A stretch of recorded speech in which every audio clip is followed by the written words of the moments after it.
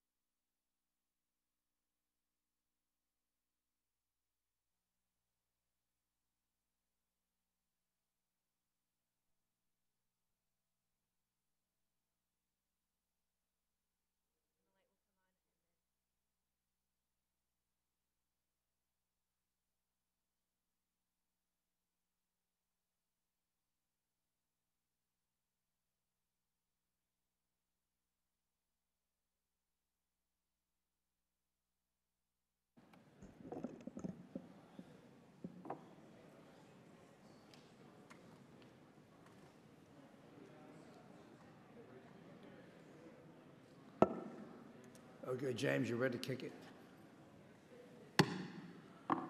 Good morning, ladies and gentlemen. The Subcommittee on Courts, Commercial Administrative Law will come to order. Today's hearing is a legislative hearing on H.R. 4369, the Furthering Asbestos Claim Transparency Act, popularly known as the FACT Act of 2012, introduced by Representatives Quayle, Ross, Quayle from Arizona, Ross from Florida, and Mr. and Matheson from Utah. Nearly 15 years ago, in Amchem versus Windsor, the Supreme Court struck down a massive class action settlement, which many consider to be the turning point in, in asbestos litigation. In its opinion, the court described asbestos litigation as an elephantine mass that may be best resolved by the legislature. While I think of no one in the House or Senate disputed the court's elephantine description, years were spent in this committee and in the Senate trying to craft some replication of the Amchem settlement to help resolve claims and prevent a wave of bankruptcies due to asbestos litigation. As everyone, or as most everyone is well aware, efforts in the House and Senate were unsuccessful, and for many, for many defendants, the only recourse had been to seek bankruptcy protection. Fortunately, Section 524G of the Bankruptcy Code had already been enacted and has served a vital tool for asbestos victims, defendants, and plaintiffs. Needless to say, 524G has not been without its problems, which resulted in the creation of H.R. 4369 and today's hearing. Virtually every aspect of the, as, of the aspect, as, asbestos litigation has been tragic. At its inception, asbestos was a miracle product used in construction and by our military throughout the country, only to become a national pariah after, after thousands of Americans became deadly ill or sick due to exposure. The symptoms of asbestos exposure are uncanny. There are long latency periods and a myriad of symptoms. While liability for asbestos exposure was fiercely contested initially, it has become so prevalent that many defendants simply claims simply settle claims rather than assume the risk. Most of the original big name defendants have filed for bankruptcy protection, and I'm told that the number of new claims is holding steady, which means that the growing pool of plaintiffs will have to seek compensation from a shrinking pool of money unless there are new defendants to pay claims. The tragic twist is, is that asbestos litigation has not concluded. It has simply moved from notorious big name defendants to, less, to lesser known entities and asbestos trusts. I look forward to today's hearing and learn how H.R. 4369 will help protect the pool of funds for asbestos victims and prevent fraud against asbestos trusts. Anyone who is missing or, or wrongfully taking money from these trusts is simply compensating from victims and should be held accountable. Also, I'm interested in how the bankruptcy trustee and the trust help protect the money for victims. Finally, I'm concerned and, and, and interested to learn more about the ethical responsibilities and duties of attorneys who bring or initiate cases against asbestos trusts. Now that I've concluded my opening statement, I will recognize the distinguished gentleman from Utah, Mr. Stand corrected, Arizona, all those western states look alike. Uh, I say that with tongue in cheek, of course. The distinguished gentleman from Utah, Mr. Quayle, for his opening statement. Thank, thank you, Mr. Chairman, and it is part of the four corners, so we're good to go. Um, I want to thank you, Mr. Chairman, and thank you for the calling this hearing to consider H.R. 4369, the Furthering Asbestos Claim Transparency Act, or FACT Act, which I recently introduced with my Democratic colleague Jim Matheson from Utah and my colleague on the subcommittee, Dennis Ross from Florida. This bill is about transparency so that funds will remain available for those who are truly injured and not exhausted by those filing fraudulent claims. The problem of fraud in the asbestos compensation system has been well documented. In September of last year, my judiciary colleagues on the Constitution Subcommittee held a hearing to examine the occurrence of fraud within the asbestos compensation system and its effects on businesses and the economy. That hearing addressed the problem. This hearing explores a much needed solution. In 1994, Congress amended the bankruptcy code to allow a Chapter 11 debtor to create in its plan of reorganization a trust that would handle all future liability claims based on the debtor's manufacture, sale, or other involvement with asbestos containing products. These trusts, created under Section 524G, came into existence when the debtor exists bankruptcy, exits bankruptcy. In exchange for providing recourse to future asbestos claimants through the trust, the debtor receives a channeling injunction preventing future claimants from suing the reorganized debtor. Under current law, there is no statutory requirement that asbestos bankruptcy trusts provide any disclosure to anyone about who is filing claims, who is getting paid, and why. Essentially, they operate in secret. There is evidence that this secrecy allows fraud to occur. Plaintiffs will present one set of facts in public complaints filed to, in the state tort system, then give a contradictory set of facts when they make a demand from the trust. And there's no communication or transparency between the two systems. The FACT Act shines light on the asbestos compensation system. It requires the trust to publish quarterly reports detailing the identity of claimants, the amount they are paid, and the basis for the payment. It is important to note that this disclosure will provide no more information than is currently available in the claimant's pleadings in the state tort system from the local courthouse. Make no mistake, I believe that victims of asbestos exposure are entitled to just compensation. This bill does nothing to hinder their receipt of damages. Instead, the bill attempts to root out fraud through public disclosure of important information. The savings to the trust that result from the reduction of fraud, waste, and abuse will ensure that the trusts will have adequate capital for future claimants. The FACT Act is a light touch. It does not tell claimants how and where they must file their claims or foreclose them from recovery. Instead, it brings much needed transparency to a compensation system replete with abuse. I appreciate the support of Congressman Matheson and Congressman Ross on this measure, and I look forward to the testimony of the witnesses. Thank you. I yield back. I thank the distinguished gentleman from uh, Arizona. Uh, Ladies and gentlemen, I am told that there, that a vote is imminent. There will probably be a vote on or about 1025. So we'll move along, and I hope we, without keeping you all in an undue tone, we'll try to wrap this up, but if not, we'll come back after the vote. We have a very distinguished panel before us this morning. Our first witness today is Leigh Ann Schell, a founding partner of the law firm of Kuckler. Is that correct, pronounced that correctly? It's actually Kuchler, Mr. I wasn't even close. Kuchler, Polk, Schell, Weiner, and Richardson in New Orleans. She practices in the areas of, of toxic tort litigation, environmental litigation, product liability, and other legal fields relevant to asbestos. Ms. Schell also served as chairwoman of the International Association of Defense Counsel's Legislative, Judicial, and Government Affairs Committee. Ms. Schell received her law degree from the Loyola University Law School and her undergraduate degree from the University of, New Orleans. She is also a marathon runner. According to her firm's website, the legislative process is frequently a marathon and not a sprint. Good to have you with us, Ms. Schell. Thank you, Mr. Mr. Chairman. Professor Stephen Todd Brown is an associate professor of the SUNY Buffalo Law School, where he also serves as director of the school's Center for the Study of Business Transactions. Professor Brown's research and teaching draws on his experience managing a small business and his practice at a major D.C. law firm. His recent academic work focuses on the constitutional limits and institutional dynamics of aggregate litigation, including bankruptcy and procedural devices for consolidating mass tort cases. Professor Brown received his J.D. from the Columbia School of Law and LLM from the Beasley School of Law at Temple University, and his undergraduate degree also from, the, from Loyola University in New Orleans. Professor, uh, strike that. Mr. Charles Siegel, Siegel is a professor and the head of the appellate practice of the law firm of Waters and Kraus in Dallas. His practice focuses on asbestos and toxic tort litigation, among other fields.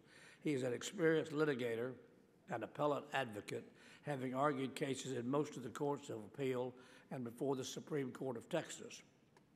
Mr. Siegel is furthermore a member of the Texas Laws Lawyers Association and the American Bar Association. Mr. Siegel received his law and undergraduate degrees from the University of Texas at Austin, where he is a sometimes guest lecturer. Finally, Mr. Marc Scar- Scarcella, am I close? Very close, Scarcella. Thank you, sir. Mr. Sorcella is a manager of Bates White Economic Consulting Firm here in Washington, D.C. He has more than 10 years' experience as an economic consultant for litigation. He specializes in quantitative methods and their applications in dispute re- resolution, settlement ne- negotiations, and litigation management and strategy. Prior to joining Bates White, Mr. Scarsello was managing director at an analysis research planning corporation where he provided economic analysis and consultative services in 524G, Chapter 11 bankruptcy for Fortune 500 companies. Specifically, he has advised clients on matters of liability estimation and cash flow management, as well as on asbestos trust claims, processing procedures, policies, reporting, and valuation. Mr. Scarcella holds a master's degree in financial economics and two bachelor degrees from the American University. It's good to have all of you with us this morning. Folks, we try to comply with the five-minute rule. There will be a panel on your desk that will show a green light, and when the amber light appears, that means that you have one minute. And uh, we, you won't be keel hauled if you violate the five-minute rule, but if you can wrap it up on or about five minutes, particularly in view of an imminent vote, we would be appreciative to you. And we try to apply the five-minute rule to ourselves when it comes our time to question you as well. Ms. Schell, why don't you kick us off? Good to have all of you with us. Thank you. Good morning, Chairman Coble and members of the subcommittee. Thank you for holding a hearing today on the FACT Act, which is good, common sense, bipartisan litigation, I mean legislation that is looking for a solution to an asbestos compensation system that is broken. And the solution proposed by the FACT Act is for transparency and accountability. Now, during the course of my practice, I have been involved in asbestos litigation for approximately 15 years. This is not a solution in search of a problem. Instead, based on my own experience and from that that is seen around the country, this is a national problem that needs a national solution. For example, my firm recently handled the Robeson case, which was filed in New Orleans. In Robeson, the plaintiffs had filed on behalf of Mr. Robeson 16 trust claims. Now, Mr. Robeson's deposition was taken in Texas solely for the purpose of exploring the 16 trust claims filings. And throughout the course of the deposition, which was submitted as an exhibit for my testimony, Mr. Robeson repeatedly affirmed that misstatements and misrepresentations had been made in each of the 16 claims filings. In fact, it was noted that the claims filings were inconsistent even among themselves as to the exposure histories that were listed.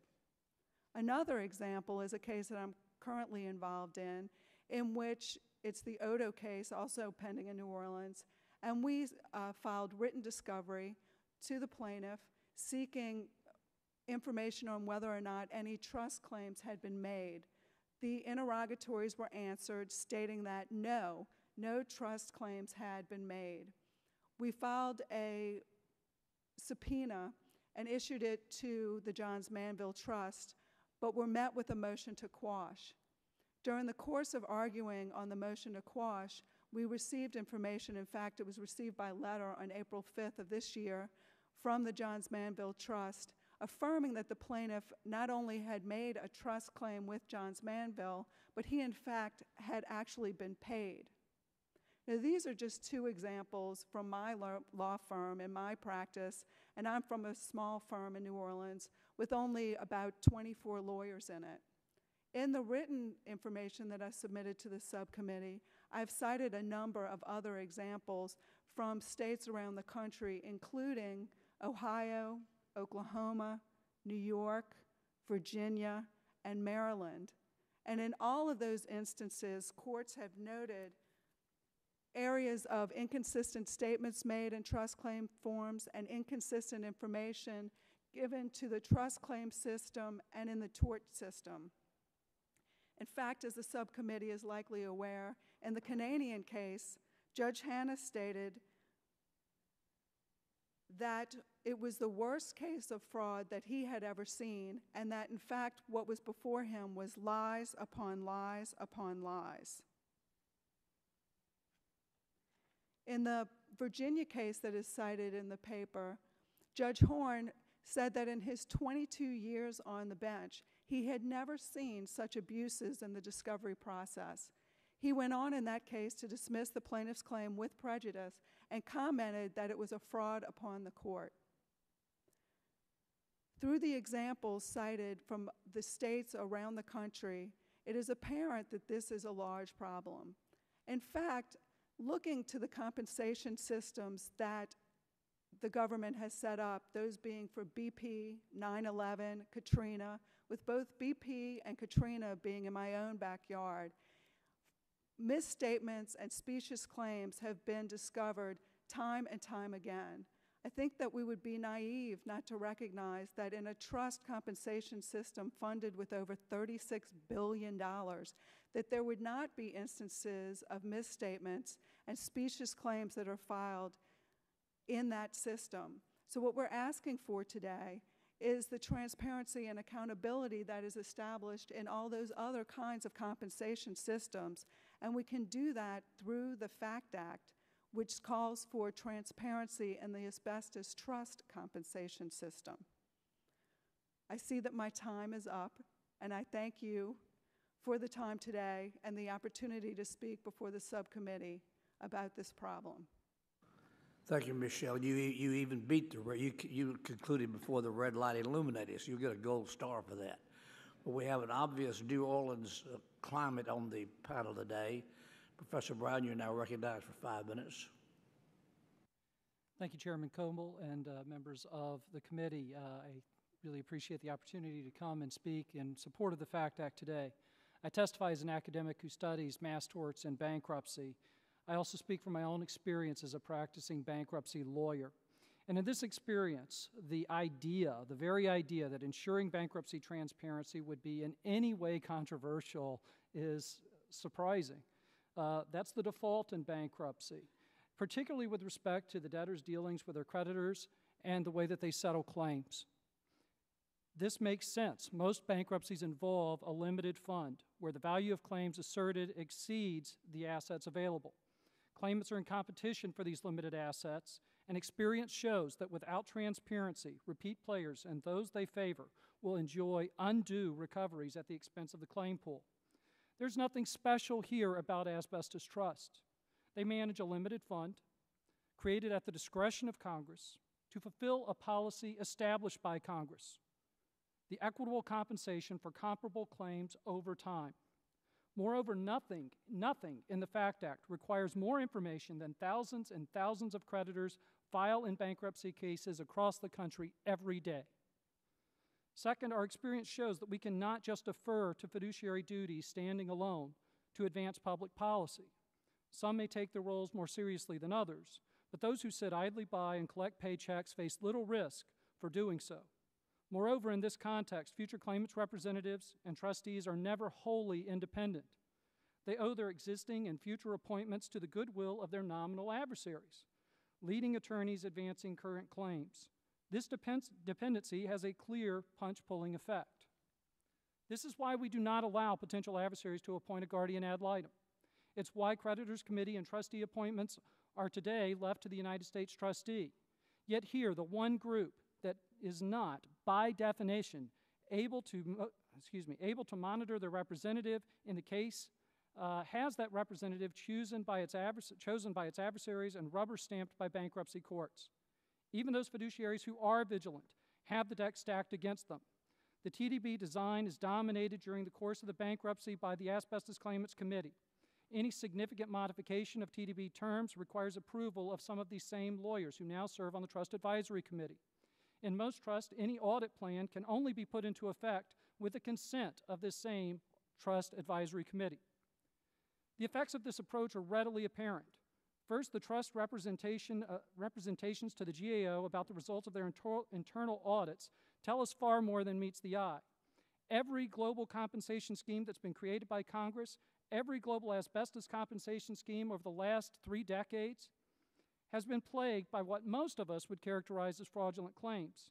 Yet the trust self reported, among other things, that they have discovered no fraud, none.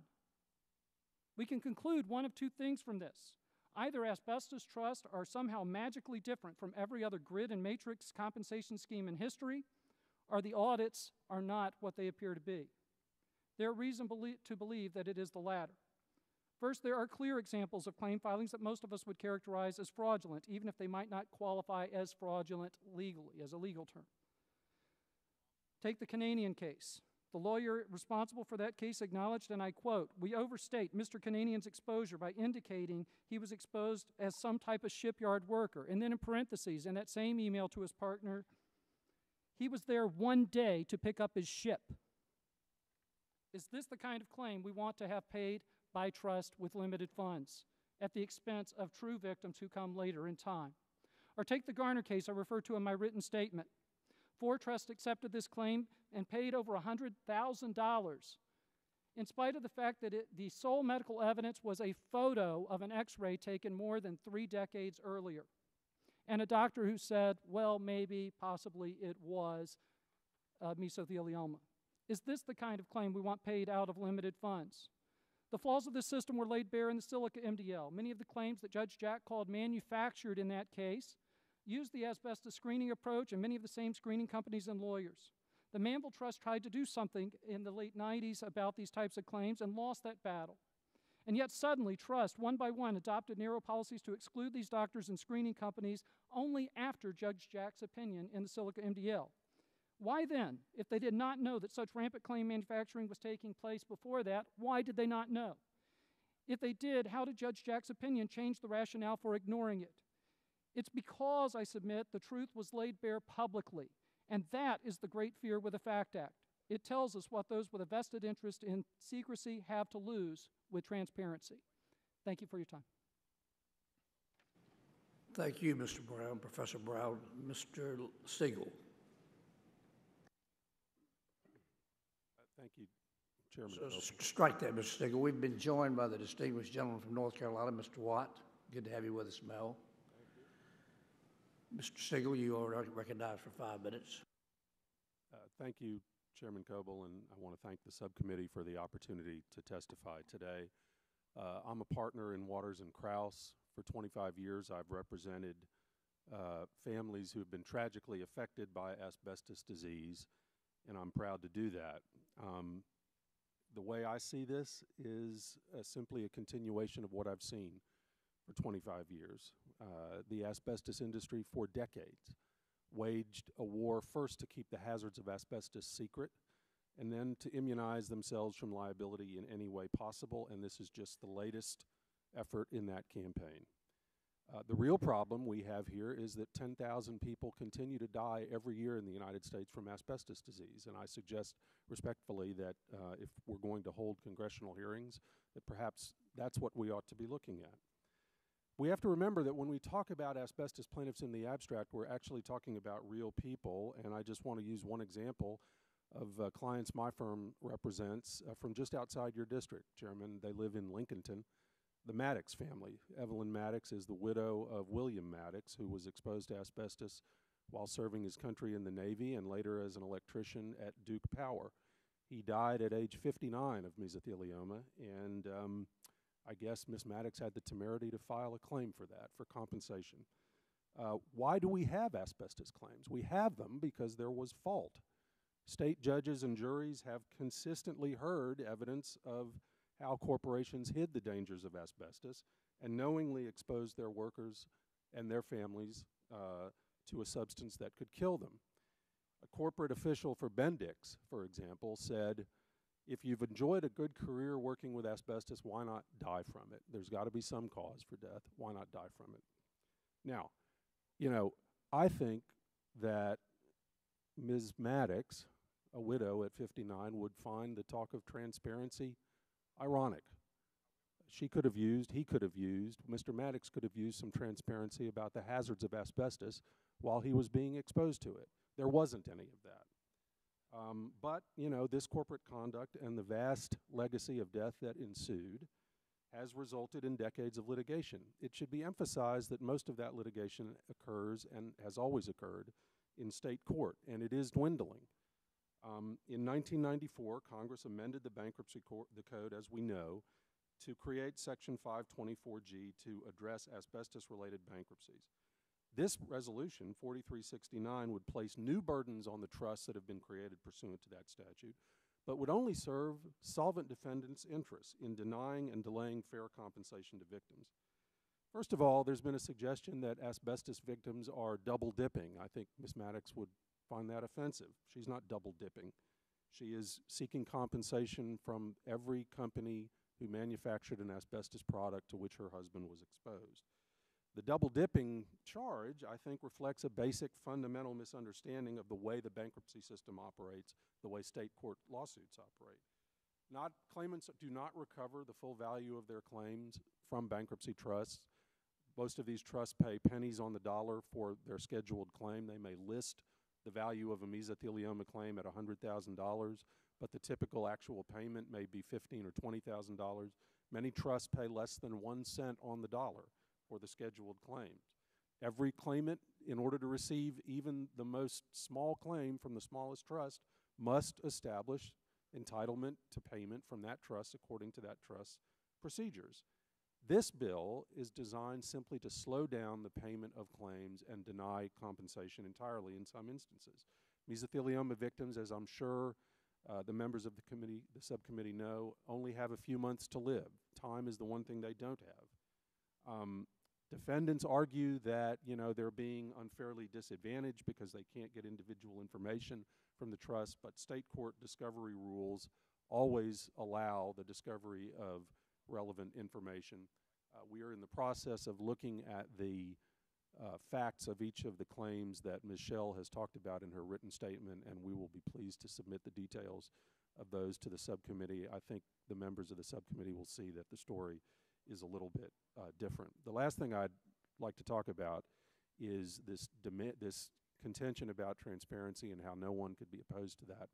Um, it is important to realize that every single defendant in asbestos litigation, including Ms. Schell's clients, absolutely insist on complete confidentiality when they uh, address and settle claims in the tort system.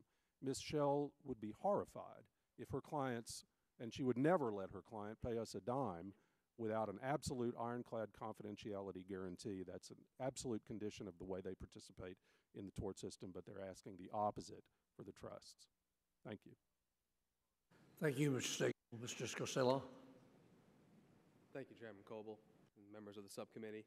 Uh, my name is Marc Scarcella, and I appreciate the opportunity to provide testimony in support of this common sense bipartisan legislation.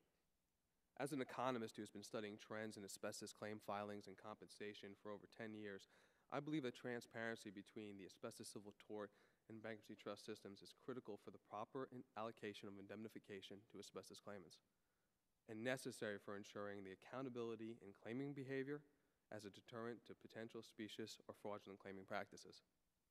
During the past decade, I've had the opportunity to work with both defendants who are actively litigating cases in the asbestos civil tort, as well with legal representatives for asbestos claimants, and trustee boards to some of the largest asbestos bankruptcy trusts. It is from that balanced experience of seeing the world from both the tort and trust systems, working for both defendants and claimants, that I've gained a great deal of knowledge about how these two compensation systems interact, or in many instances, fail to interact. After reviewing provisions outlined in the bill, I believe that it will serve as an effective and necessary step towards bridging the transparency gap that currently exists between asbestos bankruptcy trusts and the civil tort system, and will do so in an efficient and cost-effective manner. Moreover, the reporting requirements of the bill will serve as a deterrent to potential fraudulent claiming practices across bankruptcy trusts. The key takeaway points from my testimony are quite simple. First, the FACT Act will advance transparency within the asbestos bankruptcy trust system. The FACT Act will mandate that each trust provide quarterly disclosures showing who has filed a claim against the trust seeking payment and what the exposures are that are, they are alleging in seeking that payment. This information is akin to what is already publicly available in the civil tort system. When asbestos lawsuit is filed in the tort system, a public complaint discloses the identity of the plaintiffs and all the defendants named in the lawsuit for which the plaintiffs were seeking compensation. In addition, these complaints typically provide general allegations of exposure, and in some cases, they will include very detailed account of the victim's work and exposure history. In addition, publicly available case dockets will typically provide status information on each defendant named in the lawsuit.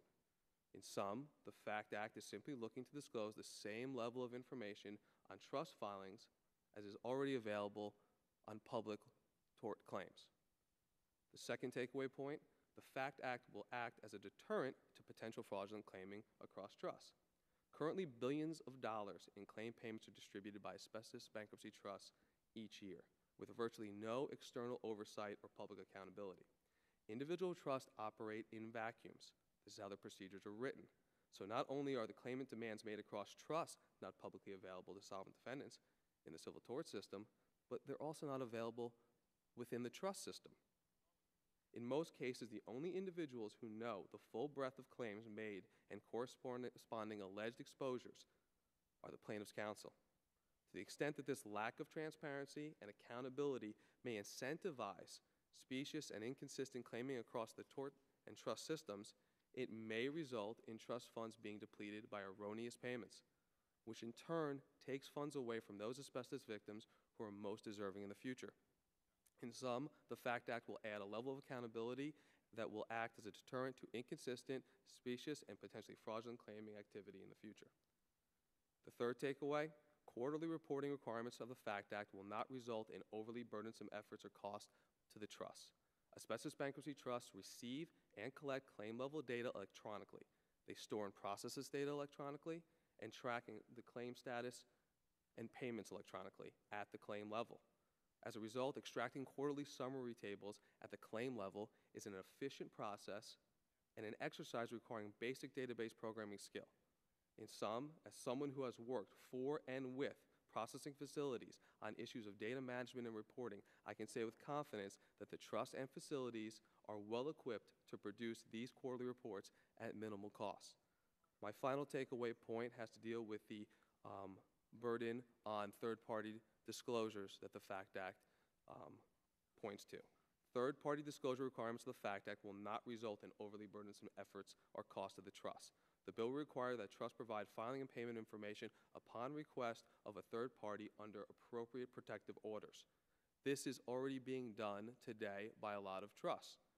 Some trusts respond to third party requests by searching their claims database for particular individuals and providing information as to whether or not that individual has filed a claim with the trust. They'll do this for costs ranging from $0 to maybe $100. Once that search has been completed, it is minimal additional effort to produce additional information about that claim. In closing, the FACT Act is seeking a reasonable level of bankruptcy trust claim transparency akin to what is already being provided in the tort system, and it is doing so in a cost effective and efficient manner. And that is why I support the bill. Thank you. Thank you, Mr. Scarcella, and thank each of you for uh, your very timely presentation of your evidence. I appreciate that. We have been joined as well by the distinguished gentleman from Tennessee, the ranking member of the subcommittee, Mr. Cohen, whom I will now recognize for his opening statement. Thank you, Mr. Chairman, and I won't, I won't take the time to give my opening statement. I'd like to ask that it be entered in the record. I would like to say this. I've done a little study on this, not enough, and I really regret having missed your statements. and some other um, uh, issues I had to deal with this morning. Uh, this issue is personal to me in that one of my absolute best friends in the world was a great, great, great singer-songwriter by the name of Warren Zevon. And Warren Zevon succumbed to mesothelioma in September of 2003. Uh, he didn't know the uh, genesis of uh, the, the, disease, uh, but he was diagnosed with such. And because of that, I'm real concerned about these, uh, these illnesses. He did not seek a lawyer, didn't want damages. I had a few parasites. I'm an attorney, but I had a few people call me and, talk to me, quote unquote, friends of mine. Uh, friends because they wanted to get to Warren to take his case. And Warren was good and didn't do it. Uh, but I'm concerned about victims, and I'm prejudged to look at it from that perspective. From what I look at on first blush, this is a solution looking for a problem. Uh, and the ex expense to the trust of having to go through all of this material is going to be to the detriment of the beneficiaries of the trust. And it's the beneficiaries of the trust to whom I think I owe a, uh, uh, my, my perspective and my judgment. With that, I ask that my statement be entered in the record, and I yield back the balance of my time. I thank the gentleman from Tennessee, and without objection, the ranking member's complete statement will be inserted and made a part of the record. Folks, we try to comply with the five-minute rule here as well, so if you all can keep your questions, your answers in a terse manner, I would appreciate that. Professor Brown, some opponents of this legislation claim that Congress lacks the authority to enact this legislation because these trusts are governed by state law.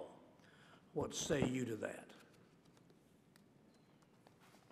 Thank you for the question, uh, Chairman Chuck Coble. Um, These trusts are created solely because of an act of Congress.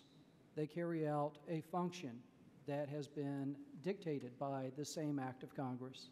Um, They are no more a creature of state law just because they incorporate there, or because they are formed there, than uh, any other organization that is performing a function that has been dictated by a, a, an act of Congress. Um, and in fact, the bankruptcy code already acknowledges that entities that are created through the bankruptcy process are still subject to bankruptcy court orders. They're still subject to uh, what is expected of them under the bankruptcy code. Uh, this is not surprising. Uh, moreover, as I mentioned in my written statement, um, this is firmly within the bankruptcy power uh, which even under the narrowest definition uh, relates to regulation of the relations between the debtor and its creditors. This uh, act, the, uh, uh, the amendments in 1994, Section 524G, regulate those relations going forward. And all that we can really expect here, all that we ask, uh, all that I would ask for here, is that we make sure that parties, whether they're private or public, if they're performing a function under the bankruptcy code, that they do it in a transpa- transparent way. Thank you, Professor. Mr. Stegall, what provision of the FACT Act will impede claims from filing a claim with or receiving compensation from a trust? Well, the, the, act will not prevent from filing a claim with the trust, but what the act will do inevitably is impose onerous ad- administrative burdens on the trust, which will slow down the payment of claims and will deplete the funds of those claims. As I said, the claims are already paying pennies on the dollar. And to impose upon them the costs that are already being, the costs of an enterprise or an exercise that is already being handled in the state court discovery system is sort of just asking Congress to shift the defendants and the state court's work onto the trusts. And again, as I said, they're already, they're already strained to the maximum. They, they don't have any spare personnel or dollars to devote to these tasks of essentially relieving defendants in the tort system from their discovery burdens. Thank you, Mr. Stegall. Mr. Scarcella, very briefly, I want to get to Ms. Schell, if you will. Go ahead briefly. I wanted to add something to that question, if, if I may. Um, as somebody who worked at a trust, the largest asbestos trust, the Manville Personal Injury Trust, back in uh, 2001 as their quantitative data analyst and statistician, I can tell you that um, I understand Mr. Siegel's concern, and I think it's a legitimate concern, but I can assure everybody that it is not a problem. Um, when I worked at Manville, my sole function was to manage data for internal analysis and respond to third-party requests for external information. My role and job functions related to reporting requirements similar to what's in the FACT Act had no bearing on the work that was being done by claim reviewers and claim managers whose job is to review, qualify, and get claimants paid. It's like a split, you know, level of authority and split level of responsibility that will not impede how fast an individual can get paid when they file a trust claim. Thank you. Let me get one more question in for Ms. Schell. Michelle, the September tw- tw- 2011 GAO report notes, and you, you highlight this in your testimony, that 65% of trusts have included procedures in their trust distribution plans that are intended to prevent the disclosure of claims information. Why do you think this is the case? Put your mic on, if you will, Ms. Thank you for your question, Mr. Chairman. I included that information because I think it is significant that now, post-confirmation, the committees that make up the rules for the administration of the trust funds are building in confidentiality provisions into those trusts to keep information from the public. And it's problematic for a number of reasons. First, it doesn't make much sense to keep the information confidential. It should be information that should be reported. And the fact that it's being done post-confirmation raises questions in and of itself. And that it's being done by committees that are in large part made up by, or at least in part, made up by plaintiffs' firms from around the country. The confidentiality provision sometimes, and I gave the example of Babcock and Wilcox in my paper, also set out the, the method by which the information can be obtained. And in that particular instance, it requires a subpoena from a bankruptcy court. So that trust is, is moving the question out of the state court arena and putting it in front of the bankruptcy court in which none of the tort players are actually involved. And so it sets up an unworkable step. And really, to go down the path of whether or not defendants can get discovery through state court proceedings strays from the point of the FACT Act. The point of the FACT Act is to require widespread reporting of claims made in all the trusts, not just to provide information to one single defendant in one single case, but instead to provide information that then can be re- reviewed by those seeking clarity and And those Ms. Schell, my time has expired, but if you, if you could wrap up very quickly. and by those seeking clarity and those that are just simply looking to make this compensation procedure and process like all the others with oversight. Go with you next. Thank you, Ms. Schell, I appreciate that. The distinguished ranking member from Tennessee is recognized for five minutes. Thank you, Mr. Chairman. Mr. Siegel, um, how would you, how, how do you look upon this law as it affects people who have been affected by as- asbestos claimants? Is this adverse to their interest? It, it, it's, it's entirely adverse to their interests. It, it, even though oddly enough, it's an act that is directed act at bankruptcy trusts and the claimants of those bankruptcy trusts, it serves only the interests of third parties, and that is the defendants in the tort system.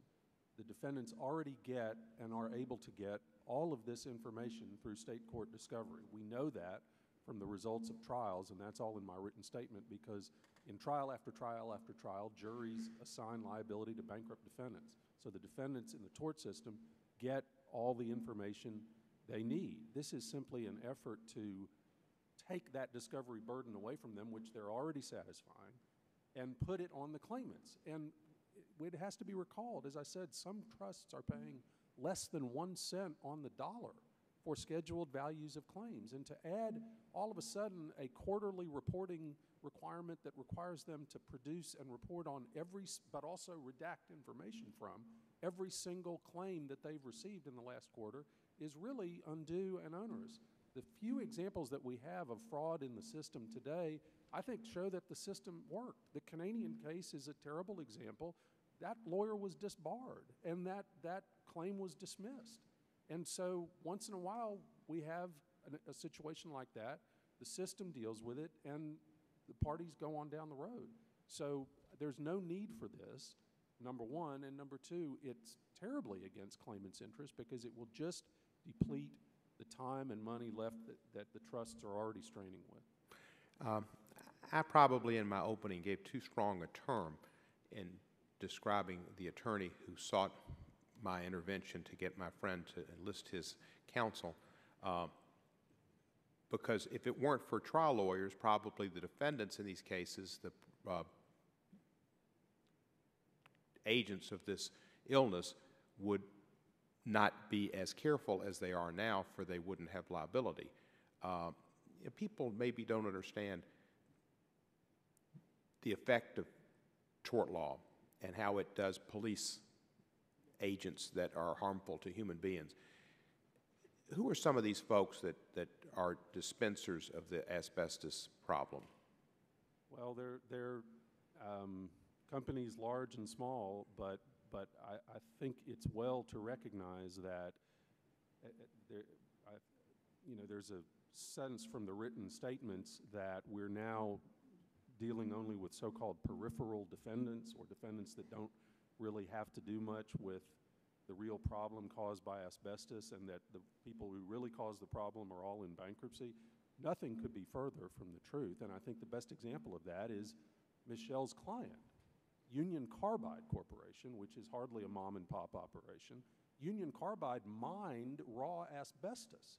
They're about as close to the original problem as you can get. They hmm. mined raw asbestos and sold it by telling people that it, well, our, the stuff that comes from our mine is somehow safer. We're the safe asbestos, not the dangerous asbestos. So to suggest that we're in the era of, def- we're only suing defendants that had nothing to do with the problem is wrong, simply flat wrong.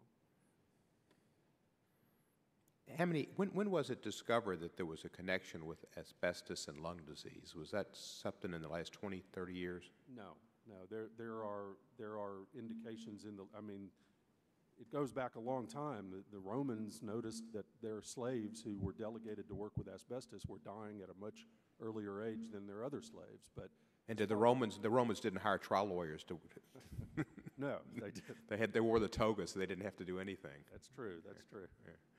Uh, but as far as the medical literature goes, I mean, there are indications in the late 1890s and certainly in the early 1900s of lung problems, lung diseases, and death caused or occurring in people who worked occupationally with asbestos. I mean, we have in the 30s And when were the first lawsuits brought, do you know, that were successful? The first lawsuits in the modern era were brought, brought in the late 60s, and the first one that really became prominently known is a case called Borel from Texas in the early 70s. Uh, and the nature of the claimants has changed. It's true that, that back in the 70s and 80s, what you were dealing with in terms of claimants was uh, insulators and pipe fitters, people whose day to day work exposed them over and over to massive quantities of asbestos. What you have now, you tend to have people who weren't exposed to overwhelming quantities on a day by day basis, but still sustained very severe, serious occupational exposure in a myriad of ways. And that is causing them mesothelioma and lung cancer. And, and they're, as I said, they're seeking compensation, not from every company in the phone book, but simply from companies who made products that they worked with. Thank you, sir, and I think the chairman. I Thank you, Mr. uh, Mr. Cohen, thank you. The distinguished gentleman from Arizona, Mr. Quayle, is recognized for five minutes. Uh, Thank you, Mr. Chairman. Uh, Before I get to my questions, I'd like you to ask unanimous consent to enter into the record a memo by Paul Clement regarding the authority uh, to enact this legislation and also a GAO study about uh, the role and administration of asbestos trusts. Without objection. Thank you, Mr. Chairman. Uh, Mr. Scarcella, I kind of want to get back to something that you were talking about earlier. And Mr. Siegel was talking about um, the undue burden, financial costs on the trusts from having to provide this information. And I was just trying to, you testified that you already have an electronic claim processing that exists, the trusts do, or at least some trusts do. And I was just wondering if you would agree that fraudulent claims actually impose a greater cost to the trust than the cost of the disclosure requirements that are in this bill. Thank you. Um, and that's a very good question. And uh, I think that all depends on the level of potential fraudulent claiming as to whether or not that financial strain outweighs um, any other related cost in identifying that fraud. Um, I really can't speak to the level of potential fraud. I think that's what we're here today to try and figure out is if there's a cost-effective way to provide that type of accountability and public disclosure to help keep in check potential fraud and at least identify it. What I can tell you with confidence is that the costs associated with trust meeting the requirements of the FACT Act are not that great. They're de minimis. In fact, in general, asbestos trusts since 2008 probably spend less than 2% of total dollars on their processing operations relative to their claim payments, obviously, and that's by design. They're designed to be administrative by nature. It's supposed to be a process in which people can get paid very quickly, and they do. Um, the point I really hope everybody understands, because this idea that Mr. Siegel brings up, like I said, it is a legitimate concern, and I'm here to tell you that it's not a problem. You know, because of the way these trusts function, because most of them, if not all of them, maintain this data electronically, the ability to extract reports is a, something that could take a matter of minutes to a few hours. We're talking about a computer program that's a few lines of code that anybody with basic programming skills could write that could generate these quarterly reports. And the beauty of it is once you write that code one time, you don't have to rewrite it three months later when you have to reproduce the report again. It's very, very efficient. And because trusts operate with distinct responsibilities, where they have people reviewing claims and processing claims and getting people paid, and they have people like what I used to do and some of the people I used to work with when I was a consultant at other claims facilities who can handle the day-to-day operations of managing the data and responding to third-party requests. So I guess in answer to your question, it's hard for me to know what the potential financial strain of fraudulent claiming could be. This bill could help tell us that. What I can tell you with confidence is that the cost associated with that level of transparency and kind of accountability is not great at all. Okay, thank you very much. Now, Ms. Schell, um, I want to ask why why should the trust have to produce this information um, on written request instead of going through the courts? And kind of why isn't the state court discovery adequate in this regard? Well, for a number of reasons. The state court discovery obligation is challenged time and time again by the plaintiffs. And oddly enough, one of the points that Mr. Siegel makes is that state court discovery is where this should lie. But state court discovery and that effort to produce actually does fall upon the plaintiff's attorney and the plaintiffs taking some time. But instead, what the FACT Act is looking for is reporting from the trust. It doesn't impose an obligation on the plaintiffs at all. And so this isn't an issue that would cause any kind of delay. In fact, the only delay I'm aware of is the delay caused by the plaintiffs in making their trust claims because they are now allowed, in instances, to defer the claims and, until some future date to, to collect on them. Um, and the, the discovery system in state courts is a problem for one, the state in which the tort case is pending is usually not the state in which the trust is formed. And so issuing a subpoena cannot be done by the state court sitting over the tort suit. Instead, has to be done through a court in the jurisdiction where the trust is. And also, as I mentioned, that is often just met with um, opposition. Okay, thank you. And Mr. Siegel, I have about like 15 seconds, but uh, you said um, that the FACT Act is adverse to the interests of claimants, but opening this up to transparency and actually protecting the trusts and the trust assets from fraudulent claims, isn't that in the best interest, interest for future claimants who may not have yet actually experienced the symptoms of the, some of the things that are coming from the asbestos-related injuries? Well, I don't think that the point of this bill is to is to protect trusts from fraudulent claims. That's already the trustee's job. Their job is to conserve, is to pay. The lack of transparency makes it much easier for fraudulent claims to go through, which is why this is actually the main focus of the bill, so that trust assets are actually protected. Th- These defendants have no interest in saving the trust's money to pay claimants. They're using this data solely for their own purposes in the tort system. Schell's clients are not going to authorize her to spend money to make sure that some unrelated trust pays out only to certain claimants and not others. That's not in their interest. Their interest is only to get this data to use it in their own private state court litigation, and we know that because that's the the exam the, the asserted problem is that they're, they're the plaintiffs are somehow hiding the ball from the tort system. Well, I'm sure that they would disagree with your statement on that. And, uh, Mr. Chairman, I yield back. I think the gentleman, let me say to Mel, Mel, we can either adjourn and come back. I, I'm not coming back, Mr. Chairman, uh, uh, so Well, why don't, I'd like, I'd like to do my question questioning now. Uh, You all are welcome to come back if you want. well, let me, let me see if we can hold the vote. We're well into this vote. You're not but five minutes into the vote. Uh, Well, why don't you go ahead then, Mel? Thank you. Um, I, I, Mr. Chairman, I'm here because uh, I got requests from both sides of this issue to be here. I come in with no uh, bias on one side or the other. Um, And uh, I'd have to say I'm not, um, I'm disappointed by the hearing because um, uh, instead of um, uh, witnesses who came to inform us about the pros and cons of legislation, we, we have, seem to have four advocates here.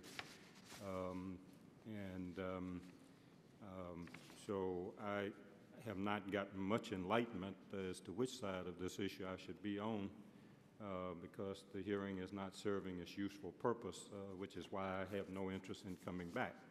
Um, I just, um, um, uh, I came in in the middle of Professor Brown's testimony. He's the one that I was hoping would be the most enlightening since he was coming from an academic perspective, but uh, seemed to be the most strident um, in, on one side of the other. I picked up a testimony of Ms. Schell, uh, who says it's testimony in support of H.R.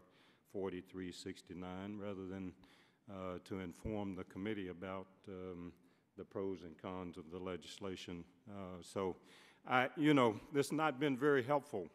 Um, um, uh, To the extent I have a bias, I come out of a litigation background and uh, have always thought that um, information related to uh, litigation is uh, information that is the party's litigation.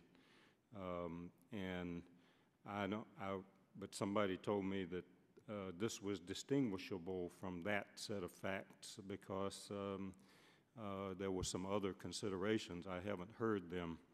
Um, Maybe Ms. Schell can enlighten me about how this is different from, uh, from any other litigation. Um, I take it that um, um, parties to other litigation can have resolutions of that litigation uh, as private settlements, um, and uh, they are able to do that, um, I suspect, um, as Mr. Siegel said in his testimony, that um, uh, if you were representing a defendant uh, in litigation, you would want a privacy agreement uh, and not to disclose uh, either that you were at fault or that um, uh, or the terms of, of a settlement.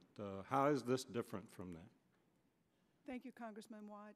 Um, First of all, I am here today not on behalf of any clients, but I'm Well, here, I didn't, I didn't say you were here on behalf of a client, but uh, when I pick up your testimony and it starts testimony in support of, as opposed to uh, testimony to inform this committee about the pros and cons of legislation, I, I mean, we're here to, I, I, I didn't come in as an advocate on one side or the other, and I don't expect the witnesses to be here as advocates on one side or the other of a piece of legislation. Tell me what the facts are, and um, you know, I'll make my own conclusions about the policy judgment. Don't tell me about the cost of something.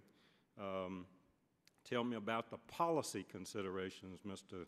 Scarcella. Uh, I mean, you know, I, this, this is a policy discussion.